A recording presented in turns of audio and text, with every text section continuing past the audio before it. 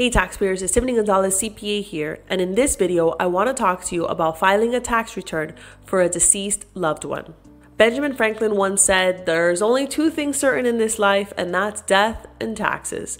And unfortunately, when someone dies, you've got to deal with both. Even in death, IRS obligations remain. Now, usually the person that files a tax return for the deceased person is their personal representative. This personal representative is typically named in a will. If they're not named in the will, they might be appointed by the court. The representative will then file the tax return in the same way that this deceased loved one would have filed the tax return had they been alive.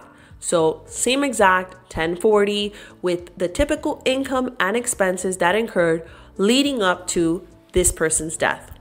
Now, if the deceased person had a spouse, the spouse will typically file a joint tax return with them, including but not limited to that particular year and the following. And they may even benefit from a qualifying widower status, assuming they meet the qualifications for that status.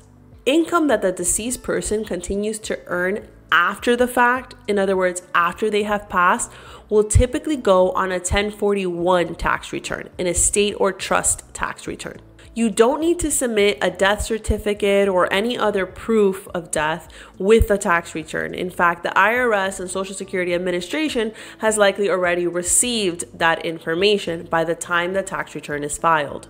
I firsthand know that nobody wants to deal with taxes when a loved one passes, but it's an unfortunate reality that there is paperwork involved, and this is one of them. We hope that this video brought you insight into the process.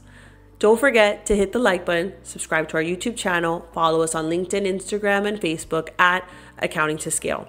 Until the next video, your favorite CPA, Tiffany Gonzalez.